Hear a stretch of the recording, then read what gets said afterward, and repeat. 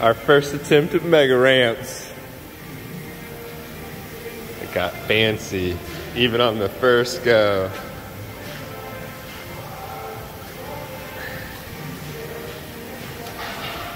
How hard was it, Davis?